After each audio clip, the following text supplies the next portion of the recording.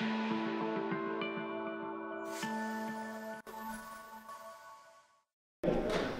welcome to the seventh ever SMUS Talks put on by our students here at SMUS.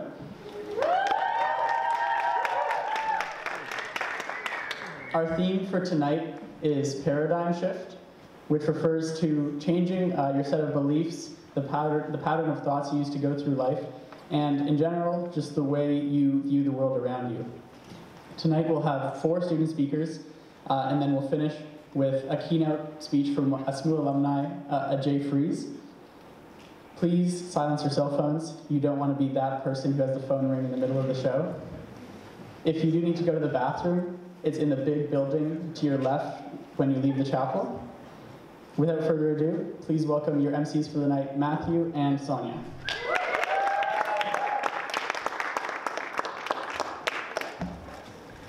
Thank you for the introduction, Ewan. Um, good evening, everyone. My name is Matthew, and this is my co-host, Sonia. Um, welcome everyone to SMUS Talks, and without any further ado, we would like you to sit back and start off the event with our first student speaker.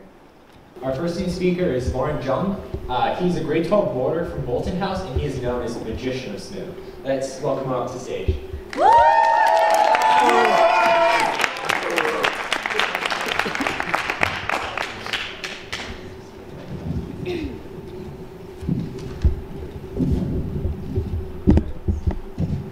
for those of you that might not know me very well, be going, this guy is not following the Asian prophecy? He's now gonna become a doctor or a lawyer or accountant. I wonder what his parents said when he wanted to be a magician.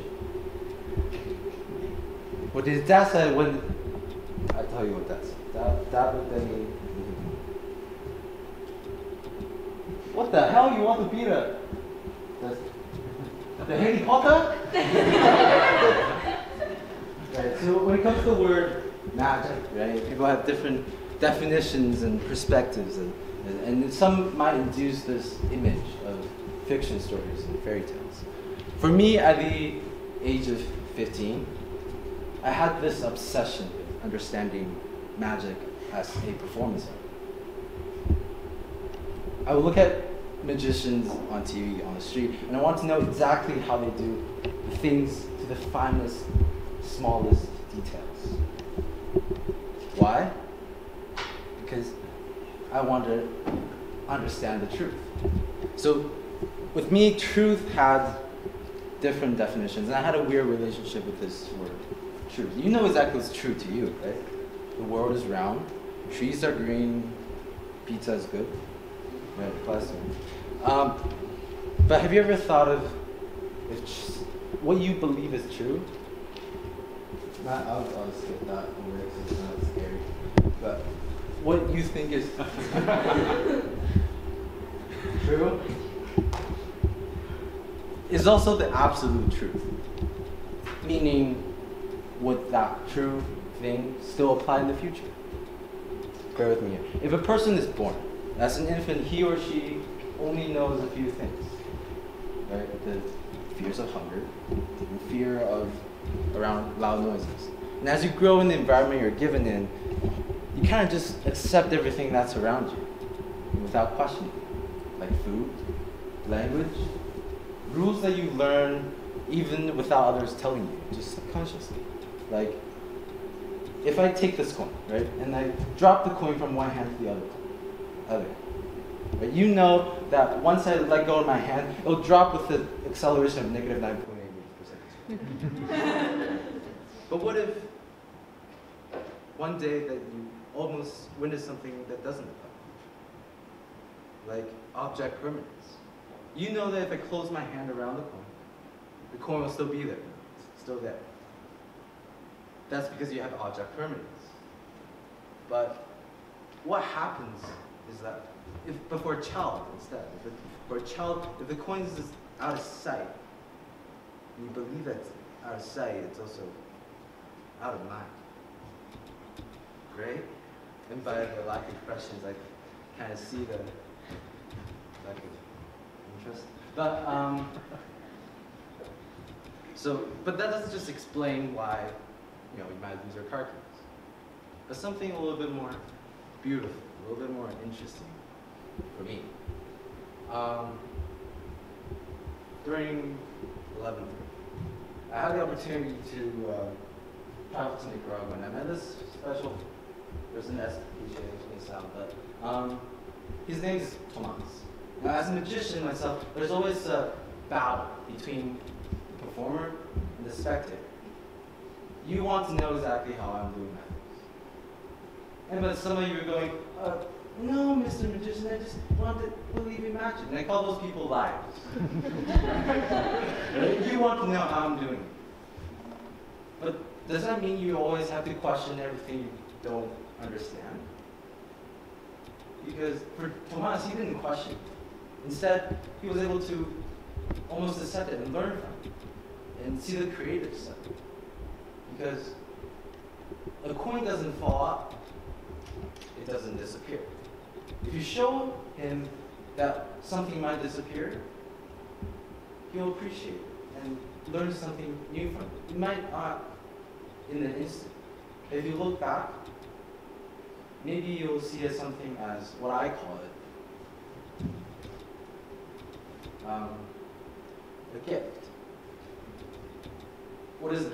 If you receive a gift, you don't reject gift. Even if you don't like the gift, you don't question the gift, neither the person who gave you the gift. Even if you don't use the gift, you keep it. And this became for me and for him almost a gift.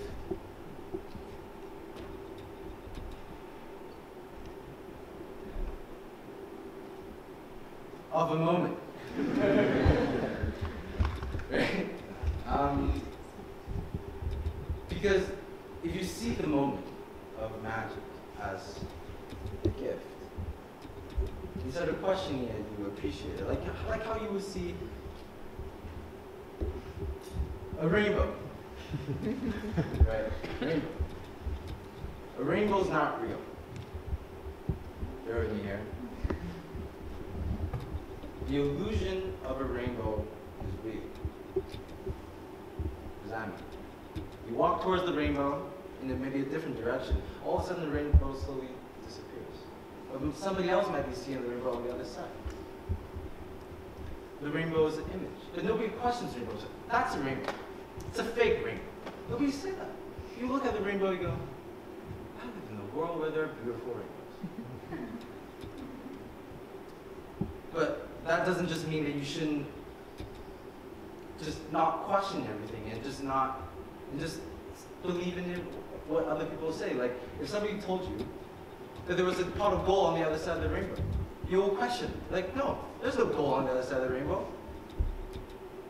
But if it comes from a genuine heart, you're able to assess the information you're given, and even if it's not real, even if it's something you don't want to understand, accept it.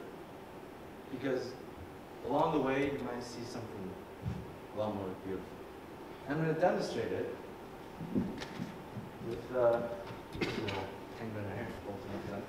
Uh, I'm going to throw it behind my back. Whoever catches it, and if you don't want to volunteer, just let something else. But if you do, uh, I'd like you to up on stage. yeah, please welcome Sonia. Give her a round of applause.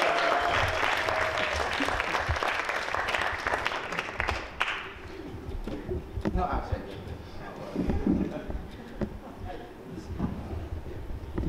Sorry. Um, okay. Now you guys can see this as something fictitious, something maybe just a coincidence. But if you sit back and see it in a different perspective, maybe you'll see something more beautiful. I'll show you what makes sense to me. Uh, deck of cards. There's a lot of them.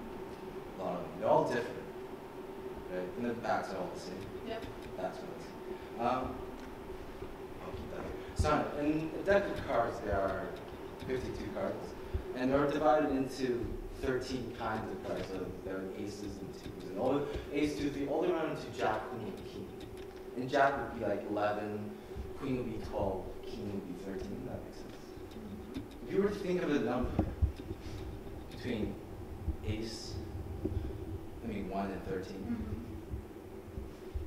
just in your head. Take your time. But whenever you're ready, when that number comes to you, yell it out loud so everybody in the. Yeah. Four. Four. you take that penguin and throw it to somebody else who also want to volunteer. Yeah.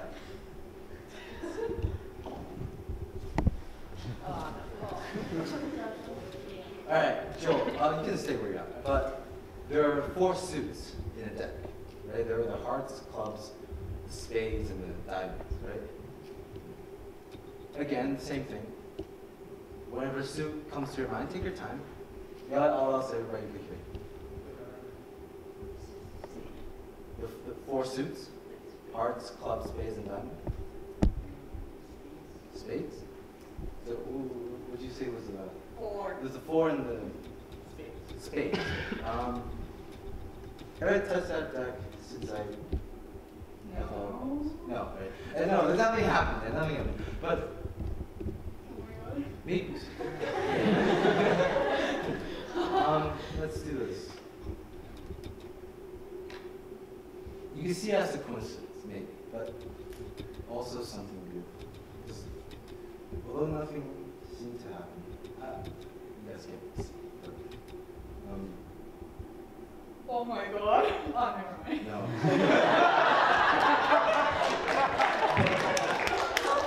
it's not your fault. All the cards are the same, except for one sticking out. But the cool thing is, if you look at something beautiful, it Oh might be boy. something. Thank you. Uh,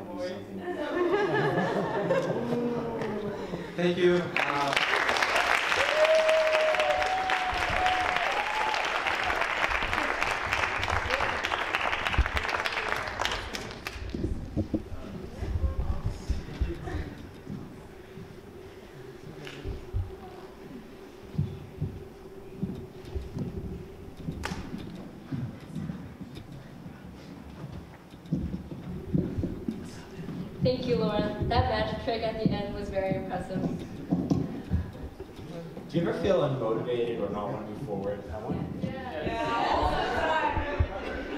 So our next student speaker, she is a grade 11 uh, boarder from Timmins House, and she's a Superior, and she will be sharing her altering mindset about her experience in France. Let's go.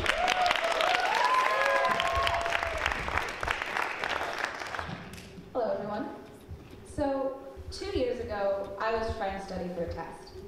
In hindsight, it was probably one of the less important tests I would take in my life, but it was the night before, and it felt important in the moment. I knew I needed to study, I wanted to do well, I cared about the class. I pulled out my binder. I started trying to flip through my notes, figure out what I knew and what I didn't know, but for some reason, in that moment, there was a little voice in the back of my head telling me I couldn't do it. For some reason, studying for this test was just too hard. It was an impossible task. There was no way I could achieve it. I felt strange. I had never had this kind of feeling before. I had always felt that whatever little tasks I set for myself, I could achieve them. But most of all, I felt scared. I suddenly felt unable to do something that I had always been able to do. This growing sense of inability began to characterize much of my life. On some level, I knew if I could just work a little bit harder, everything around me would start to seem easier. But as the little tasks in life, like studying for a test, began to feel impossible, I lost that motivation to try harder. Towards the end of the year, a chance for change came into my life. I would be leaving for three months, saying goodbye to my family, my friends, everyone I knew, on an exchange to a little town in France called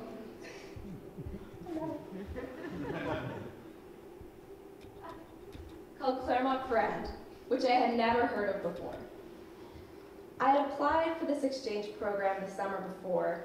At the time, I was so excited when I got that acceptance letter, and even though my mindset had undergone this radical shift from positivity towards cynicism and distrust in the months since getting that acceptance letter, that original excitement returned in the weeks and days leading up to my departure.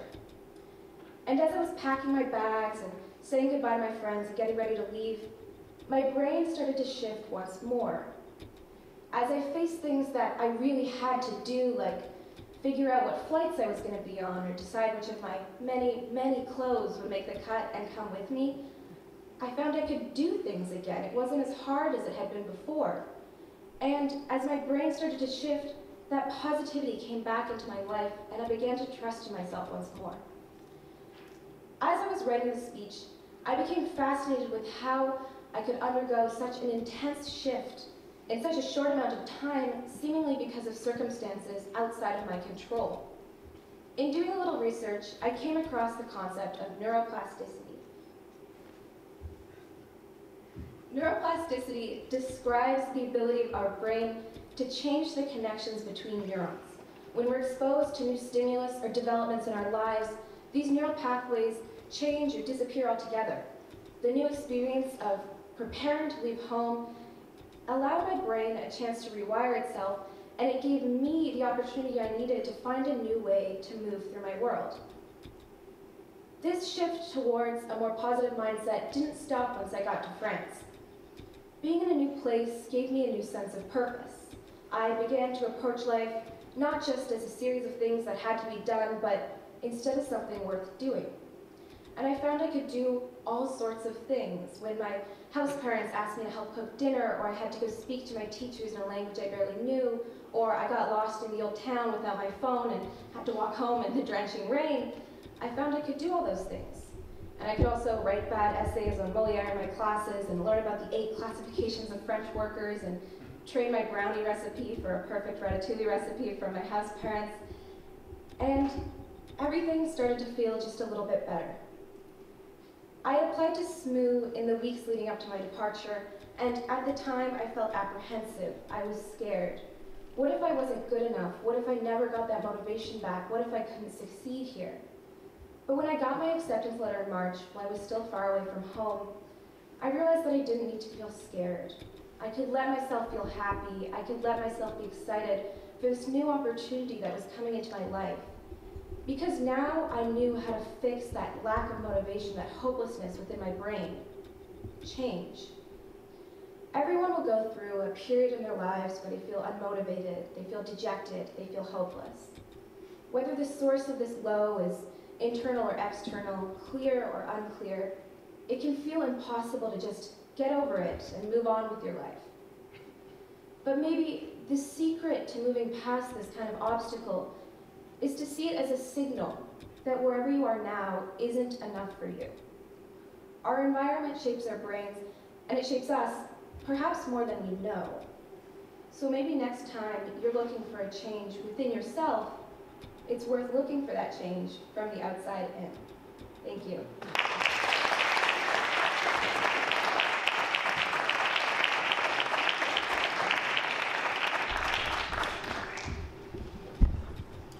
Thank you, Tessa, for the speech. Um, it's now time for a 10-minute intermission. Um, there are refreshments in the back corner over there. And you can use this time to connect with speakers, and as well as you will enjoy positive um, music performance by Mark Finamore and Jordan Helliwell. And there are also artworks from the grade 9 class around the chapel, so you can look at them as well.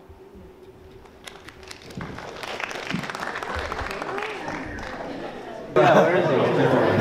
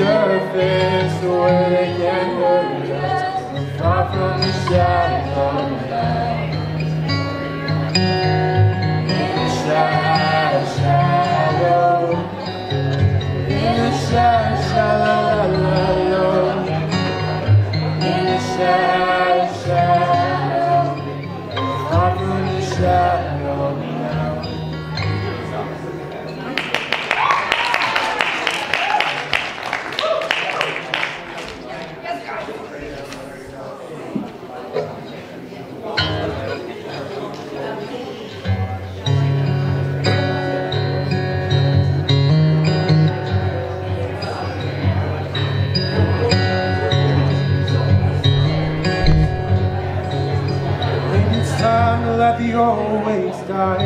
Maybe it's time to let the old ways die. It takes a lot to change a man, hell, it takes a lot to try. Maybe it's time to let the old ways die.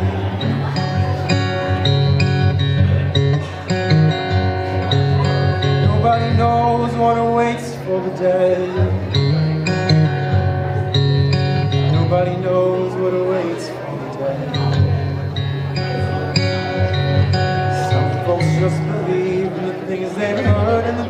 Read. Nobody knows what awaits the dead. I'm glad I can't go back to where I came from. I'm glad those days are gone, gone for good. If I could take spirits from my past and bring them here, you know I would. You know I would.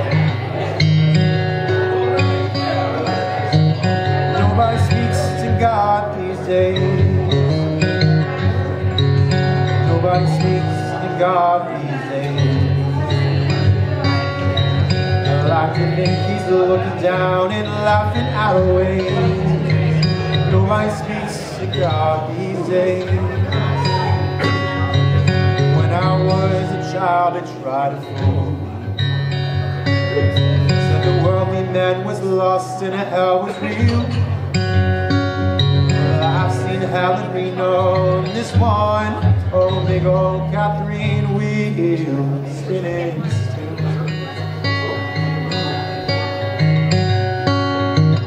Maybe it's time to let the old ways die. Maybe it's time to let the old ways die. It takes a lot to change your plans, tell a train to change your mind. maybe it's time to let the old ways die. Oh, maybe it's time to let the old ways die.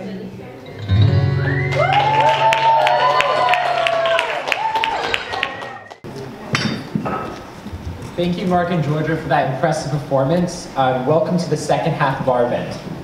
And so now we will have Alan Iturriaga, who is a grade 11 boarder from Bolton House, and uh, he will be telling us about his understandings of religion in the world and in his own life. Please welcome up Alan.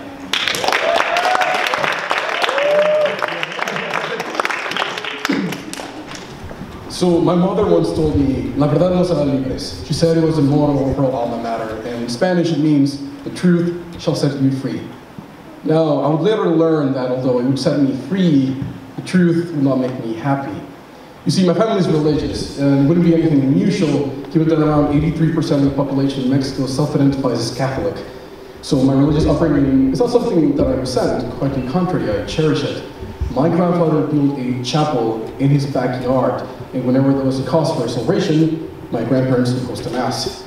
So, whenever my grandfather speaks about the chapel, he has this little twinkle in his eyes, and he tells about how he accomplished everything to make the place perfect. One day, I was reading a history book that my parents had bought me, and I was flipping through the pages looking for pictures when you're 10 years old, and I stumbled upon one of a painting. There were these men in religious attire, and they had, they had this distinct red robes. They had this golden crosses hanging from their necks, and they seemed to be burning people. The title read The Spanish Inquisition, and my mind raised horror and curiosity, like, what could this be? I remember the shocked look on my parents' face when I asked them about it, no one expects the Spanish Inquisition. so I couldn't believe this was, happening. Like, what was this? So I kept reading my history book, looking for hints of my religion in between the complicated mess that is our history. And what I stumbled with was less than pleasant. See, religion was not what I thought it was. It wasn't only the Spanish Inquisition, but it was the violent indoctrination of American natives. And it was countless records of execution by heresy. Galileo himself was put to trial because of his works in astronomy and physics. I would also later learn that this violence is not exclusive to my religion. You see, the famed philosopher Socrates, who lived in Athens long before Jesus was born, was charged and executed on charges of atheism and poisoning the youth, whatever that meant in ancient Greece. This realization that violence is not exclusive to my religion, but rather a pattern in organized religion, changed me, and it made me it made it made me question my faith. So in grade nine, I started questioning my faith not only ethically and historically, but also theologically. Was the stuff that were teaching me actually true? So I watched countless hours of religious debate. I became familiar with the most prominent critics of religion, like Richard Dawkins or Christopher Hitchens. I remember when Hitchens first opened his speech, ladies and gentlemen, friends, brothers and sisters, comrades. It was very romantic, and by grade 10, I could tell you about the logical inconsistencies in the theory of intelligent design to accounts in the Bible that were historically inaccurate. So I changed a lot. First, my belief was brought to the ground and, and then revealed in a relatively short period of time, and I was catapulted into non-belief. You see, the thing about atheism is that it's a double-edged sword, but it is liberating. Its implications about who we are, where we come from, and how we should behave. I mean, terrifying. Needless to say, I felt a bit of an existential crisis. And I noticed a change when I went back to Mexico that summer during grade 10. Whenever someone brought religion up, I would hopelessly cringe, and whenever I stepped into my grandfather's chapel, or any other church for that matter, places that apparently felt so sacred, and I had an eerie feeling to them. Praying seemed annoying and, to be frank, a little bit absurd. So I became frustrated with my family, my beliefs, myself. Yet I started to appreciate religion again. It was a gradual change, but I can pinpoint the moment where I became conscious of it. It was a particularly bad night, a particularly bad week, of a particularly bad year. I'd gone downtown with a couple of friends, and they wanted to have dinner. And me, not wanting to spend an exorbitant amount of money in an outrageously expensive restaurant that I had settled with, I awkwardly excused myself and began wandering down the streets of downtown Victoria. Because it was Victoria, it started raining, and then I noticed that A, I didn't have an umbrella, B, I didn't have a coat, and C, I didn't have a phone. So there I was, walking down the streets of downtown Victoria, and I stumbled upon the cathedral. I looked at it, and I saw these soft yellow hue kind of seeping out through the cracks of the old doors. And I was hesitant, but I was desperate for a roof, so I entered. So I entered the main chamber, I got the feeling in the back of my neck. It was a feeling that I always got when I stepped into church. It was a feeling that told me that I did not belong there. I, I considered leaving, but then something caught the corner of my eye. You see, there was a couple, all the way to the front, and they were sitting down, quietly praying. There was something about knowing that I wasn't alone that made me stay. So I sat on the bench and I started looking upwards. I always loved cathedrals for their architecture. There's a great feeling in knowing that people had built something so beautiful and intricate. I settled down into my seat and I began to reflect on how the afternoon had gone, and a deep feeling of loneliness inundated me. My eyes looked skywards once more, and as I was following the maze of arches, my mind began to wander off. What did the cathedral stand for? I questioned myself. The answer seemed pretty simple. It stood for a God, a God that, in my eyes, wasn't just. God that had been corrupted by its people for its power, and the power had set the world on fire time and time again. But no, that was what the institution stood for. What did this cathedral stand for? Why had the people of this community built this place and then? I thought of a couple that was sitting all the way to the front. I thought maybe one day with their vows they would celebrate one of the happiest days of their life. And maybe later they would have a child and they would come here and celebrate a new life with their family. I thought this chapel and how important it is to the people of this community. And finally, I thought of my grandfather's child and what an important unifier it had been for my family in times of hardship. In that moment, I felt nothing but fascination how remarkable it was for a group of people united by an age-old story to come together and feel joy. The phrase God is dead is not a celebratory statement.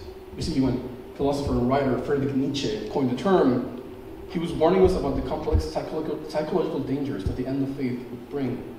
Now, he was not giving religion a free pass, but he loathed the, he loathed the, the, the Christian mindset, but he was wary of its decline. Myself, like Nietzsche, I'm not a believer, but I cherish the way religion brings people together. Author John Green puts it in better words. We historically have created so many celebration rituals, from coming to age ceremonies to yay it rained ceremonies, to come together and feel joy. But it seems nowadays that we don't do that anymore. I'm so frustrated at religion and I will actively criticize it as long as it doesn't make some radical changes to its dogma. But whenever I'm walking down to the chapel with my grandfather, I will only think of how it has brought my family together time and time again. Thank you.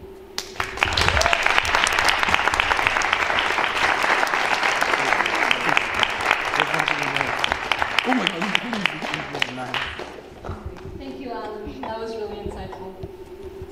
Continuing on the theme of religion, we have our next speaker, Narjes Al-Zahli. She's a grade 12 boarder from Oman in Winslow House.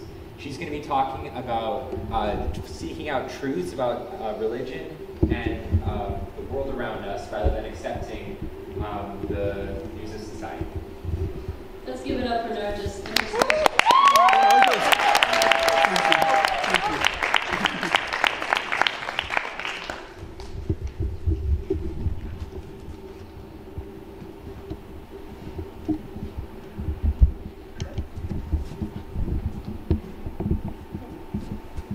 For all of those who come up to me asking, excuse my ignorance, I don't need to be rude, but why aren't you wearing your thing today? This is for you. So, when scientists wanted to draw the structure of the benzene ring, they were unsure about the placements of the bonds. They could not investigate where the double bonds actually existed, and so they had multiple structures for the benzene molecule. But eventually, they came up with a unified structure that combined all those possible structures into one, and this is called the resonance of the benzene ring. Now, the spectrum of beliefs I held as a child was shaped by my surroundings. I never really had any control over my view of the world. Every night, my mom would read me bedtime stories from the Quran until I carved them into my heart. I loved reading about them, mainly because my view of the world was feeding off of them. The values I carried with me were predetermined by the geographical location in which I was born. I had to do certain things at certain times in certain ways. Every time doubt seeped into my mind, I was drowned by the fear of insulting the one thing I held on to the most God. I always felt like I was living in a fog. My only guide was the silver thread to heaven I was instructed to follow. But as I grew older, I felt a strong connection to God. But a feeling of guilt always haunted me as I found it hard to convince myself to pray five times a day. One night, my brother showed me a video of a boy reciting the Quran so beautifully. His voice drowned me with a strange feeling of insecurity that I've never felt. I woke up the next day suddenly determined to grow my faith in God, but I did not know where to start. I tried everything for weeks. I taught myself how to love God. I taught myself how to pray meticulously five times a day with every single detail taken into account and recite the Quran for hours. I integrated his name into every conversation I made. I begged and I cried and begged him to show me the way. I even ended up changing my denomination from Ibadi to Sunni because I thought that was the right thing to do, but I did not tell my parents. Every step I took, though, was disguised by a temporary feeling of comfort that soon turned into doubt. I started wondering to myself, what if I'm not following the right denomination? What if I'm following the wrong religion? What if I'm looking for something that's not really there? I was 14 when God became everything in my life, yet something still felt missing. It was the need to believe in God on my own without any cultural, subjective predispositions. I knew that I had to reset my mind, chart the uncharted territories, and dare to question the unquestionable. I always knew, though, it would lead me back to God because unbelief was not a, an, a, realis- a realistic option to me. I wanted to go to heaven and tell God that I chose Him out of all the thousands of gods out there. I never realized how fragile that silver thread to heaven was. I never realized that letting go of that silver thread would leave me faithless. I spent so many nights crying, scrolling through the internet, cramming books about religion, looking for that one bit of information that would lead me back to God. I found no escape from the millions of questions roaming around my head. It was like a mental war in which I never agreed to participate. I felt betrayed as if my whole idea of the world had fallen apart. But rewiring my brain was not as challenging as handling the uncertainty that followed it. I jumped from the helicopter of faith to my freedom, but the feeling of security I thought I would carry with me vanished as soon as I realized I had no parachute. I found no escape again from the millions of questions roaming around my head.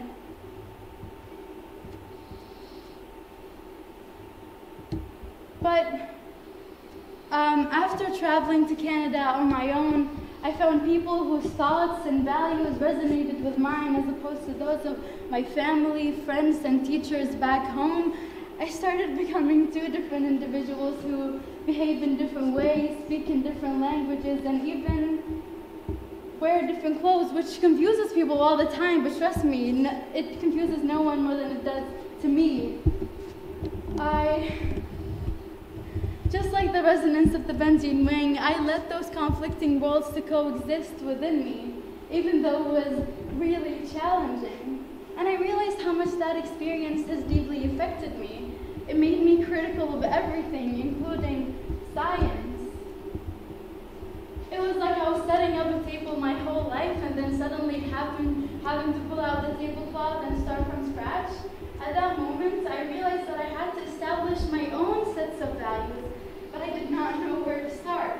I started wondering about things that I never had to think about, mainly because they were all predetermined for me, like the original ideas behind premarital sex, marriage, monogamy, and polyamory on their own field.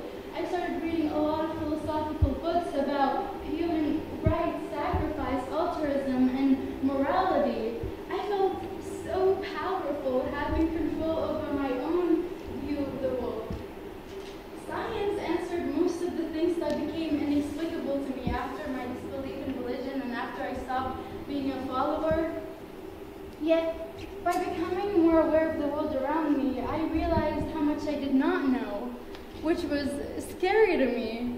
I found no answers about death and afterlife, but I guess the moral of my story is that my values and morals right now are inspired by different religions and different schools of thoughts. I let go of the parts I disagreed with and kept the beautiful parts about religion that make me feel more like a human. And now, the moral of my story is I'm not asking you to go ahead, call your parents, and tell them thank you for brainwashing me from a young age. No, I'm inviting you to escape the mentalities you were born with and believe in the things you, you believe in because you want to believe in them. I'm asking you to stop submitting yourself to the comforting, easy truths because we all love them. I'm asking you to stop following the herd. Take a step back and decide where you want to go. Thank you.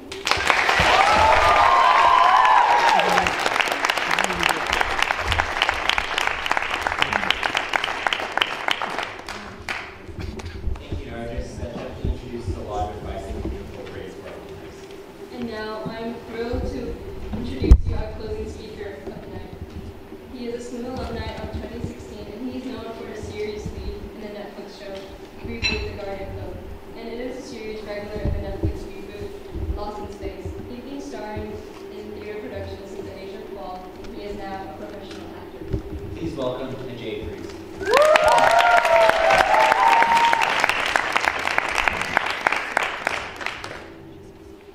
Hello. Um, so,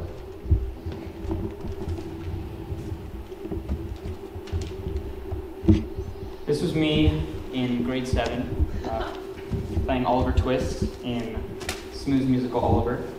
And then in grade 12, I got to play the Phantom in Phantom of the Opera. Um, shortly after graduating SMU, I got hired on the Netflix original and YTV show Reboot the Guardian Code, where I played a computer genius Pretty fun. Um, while I was filming that, I got hired on the Netflix show Lost in Space, and uh, luckily, my work in season one granted me a um, whatever it's called when they up you at work, a promotion, um, where I got a bigger role for season two, which we actually completed filming last week on. I've also appeared in Dirk Gently's Holistic Detective Agency, in the upcoming film Riot Girls, and in the upcoming Netflix original The Order, which I'm very excited about, which comes out in the next few months. Uh, so my name is Jake Friese, and if you were not paying attention for the last two minutes, I am an actor. now, um, over the past two years, I've, I've gotten really serious about acting, and um, it's changed me a lot. And it's, it's uh, unexpectedly, it was quite destabilizing. Um, getting into the minds of all these characters, or, or rather, letting the minds of these characters enter my mind was. Um, you know, it was, it was a very confusing time and, and it was quite destabilizing, but overall, this, it gave me a quite a new perspective on how my mind works and how my relationship with my thoughts. And ultimately, this, this new perspective proved to be extremely beneficial every day in how I live my life. So, there are two types of acting there's internal acting and there's external acting. Basically, external acting is, is kind of playing your body like an instrument. You're, you're controlling the different muscles in your body to have new movements. You're controlling the muscles in your face to give off different expressions. You're changing the tone and the volume of your voice, all in the, uh, the effort to kind of give off the effect that you are experiencing certain emotions as the character. Internal acting, um, a common method is called method acting, which you've probably heard of. But internal acting is where you're actually trying to make yourself experience the emotions of the character. And, and, and, and once you do that, you know, your body will probably naturally react and your muscles in your face will naturally form expressions and, and you'll naturally change the tone of your voice and everything to give off the, the you know, honest appearance that you're feeling these emotions. And so I remember in grade seven in Oliver, um, standing on stage, and I, I was trying to cry. And how I was doing this is I was standing there with my eyes open and I wouldn't blink. And I just wouldn't blink until my eyes began to water, and that's how I cried. And so that's an example of external acting. Um, however, in recent years, I've, I've, I've turned to internal acting um, as, a, as a method to prepare for and you know, enact my performances. And um, for example, uh, last year I was being tested for this TV show called Deadly Class, which just came out on Syfy Network. Um, and, I, and I was going to meetings in New York and, and Vancouver auditioning for this role of the homeless teenager Marcus. And I would walk the streets of the downtown Vancouver east side for hours, uh, not just observing the homeless population, but trying to imagine for an hour straight that this was my reality and this is how I was living day to day. Um, another example of my style of acting was uh, I had a role where my character had a deep experience where he battled this fear of heights. And so I, like a lot of people, do have a slight fear of heights. So one night at home, um, I willed myself to jump off the highest balcony of my house to a soft-ish surface 15 feet below. And uh, the whole process was a lot harder than I thought. It took me 45 minutes just to, just to talk myself into doing it. Um, another example is I was playing this, this role in a movie where um, my friends and I were, or the character's friends and I were walking into this scary house at night. We didn't know what was expected, and so to prepare, I, I went on walks at night uh, with my dog for protection, and um, I would I would kind of get myself spooked by by exploring new areas, you know, um, with real risk and, and real unknown, so that I could observe how it made me feel, and I could recreate that feeling uh, while on set, surrounded by cameras and a crew, and no real danger whatsoever. Um, and when I can't, sorry when I can't physically. Oh, Thank you. Thank you. So when I can't physically um, recreate situations uh, for a role, I have to, you know, use my imagination to to imagine living different lives because that's what acting is all about. And um, you know, there's there's there's really wonderful uh, consequences to this style of acting. You can get a heightened sense of empathy and a greater understanding for other people's lives and for yourself. But whatever this muscle is inside your brain, which allows you to turn off your own thoughts and feelings temporarily and turn on the thoughts and feelings of another character, um, this can be incredibly disorienting because you start having the thoughts of other characters and it can be hard to discern which thoughts are authentically yours and which thoughts are not.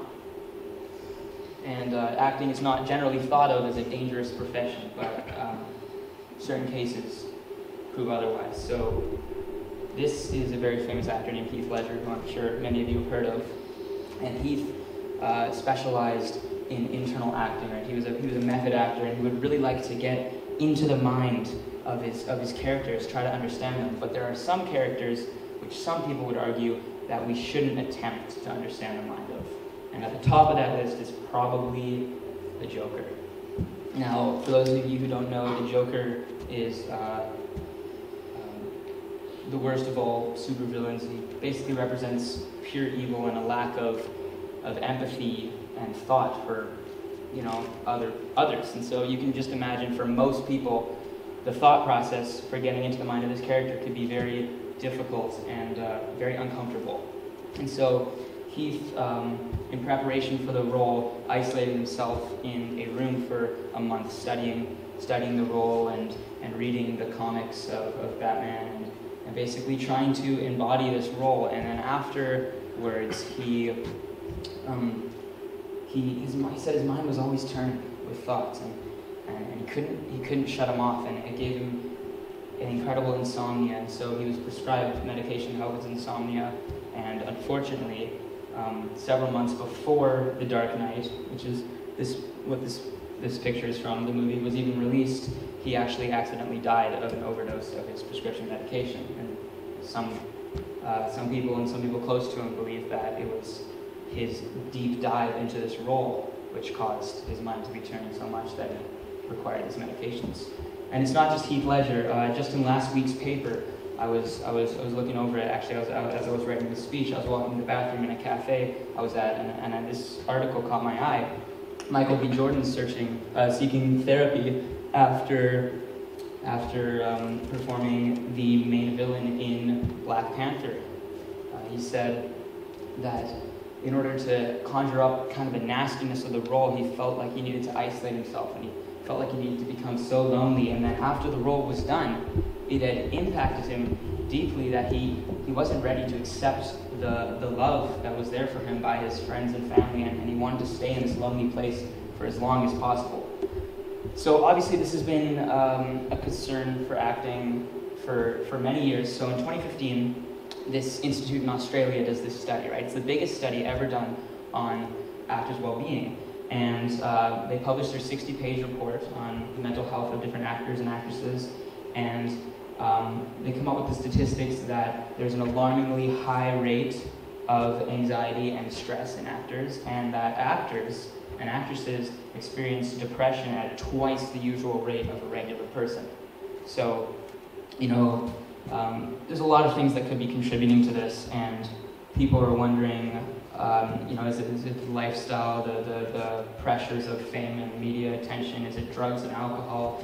And while all these things obviously do play a large role in, in different people's lives, uh, perhaps one of the biggest factors in these statistics is what actors and actresses actually do as their job and how, how stepping into the minds of other people can be incredibly confusing uh, when you're looking at your own identity.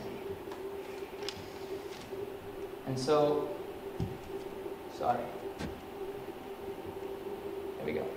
Um, and so, I grew up incredibly fortunate here in Victoria. I, I, I had a very lucky life. I still do. Um, uh, I was lucky enough to go here to SMUS, here at SMUS, but also um, I, I never really, growing up, I never really encountered deep sadness or deep loss. I never, I never felt betrayed really, and as a result of this, I never really accessed parts of my mind uh, that if I had grown up another way, I may have had to access. So I never accessed parts of my mind that controlled, you know, like rage or, or revenge or jealousy.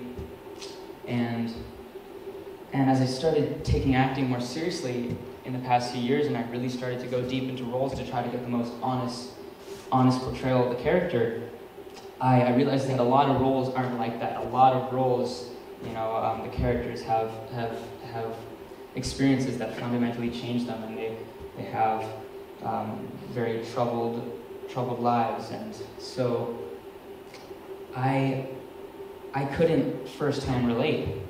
And so I needed to go to parts of my brain that I had never been to before. You know, I, I um, my agent has a quote. He says, uh, acting can cause access corners of your mind that may otherwise never see the light of day. And so I started to, to do this, and I started to, to walk around my brain farther than I had ever been, and I, and I kind of realized that my whole life growing up, I had just walked around in a tiny part of my brain, and I thought it was my whole brain, but it wasn't. I realized I could go way farther that way, way farther that way. I was defined by my own experiences, but I was playing the roles of characters who had incredibly different experiences, so I had to go to different parts of my brain. And I kind of realized that I, the Jay, was capable of thinking in a lot of different ways, a lot of ways that I had never, you know, thought of before. And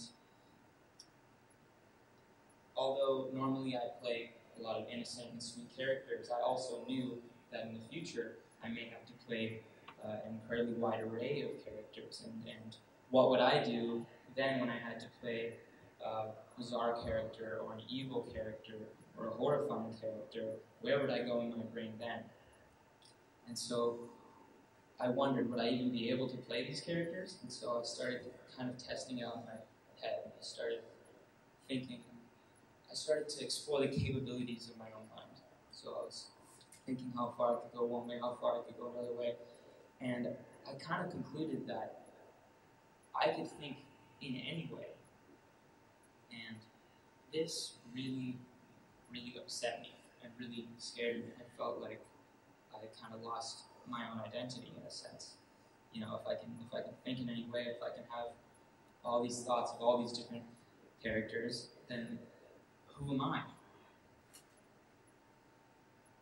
So my agent was right. I was accessing corners of my brain that I had never accessed before.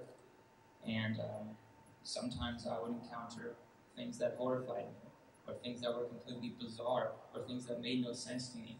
Did that mean that I was horrifying or I was bizarre? That I didn't make any sense? I think we tend to believe that we are what we think, you know, but if acting has taught me one thing, is that this isn't true at all. Our minds are literally capable of thinking anything. For example, these are two posters that are on the wall of my apartment in Vancouver. And these are the two plays I did at, at SMU, which I'm incredibly proud of. But Oliver is an incredibly sweet, innocent, caring boy, and the Phantom is this is this narcissistic, selfish villain. And I realized I've, I've inhabited both of these characters. I can have thoughts of either of these characters, and, and the brain is so powerful. The brain can have any, any thoughts you want. We can all do it right now. We can all conjure up any thought, completely positive, completely negative. That doesn't mean we are those thoughts. How our hearts respond to these thoughts actually tells us much, much more about who we are and having these thoughts in the first place.